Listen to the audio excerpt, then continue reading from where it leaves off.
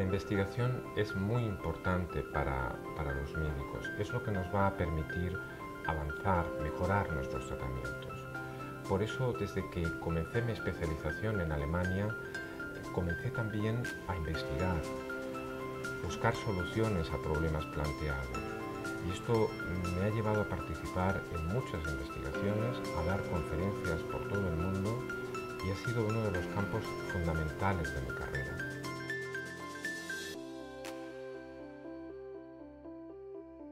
He publicado numerosas investigaciones en revistas internacionales y también en revistas nacionales de reproducción asistida, también numerosos libros del mismo tema. Siempre ha sido una inquietud para mí el publicar, el transmitir las investigaciones que estaba realizando en los distintos ámbitos.